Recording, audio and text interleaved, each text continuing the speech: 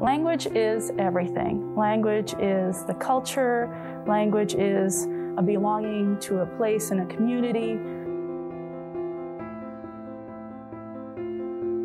I'm a first generation Canadian. My parents immigrated to Canada from Spain. They came to this country and learned English in a program similar to the one here at CNC. And they both had very successful careers in Canada. The English language program at CNC gives those whose first language isn't English the opportunity for success. It helps people further their academic studies, uh, it helps them have English for access and settlement, and it helps them become more fluent.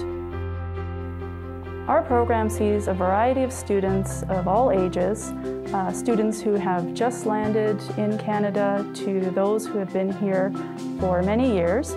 And we learn in a variety of ways, in a communicative classroom, um, through games and activities, and lots of talking.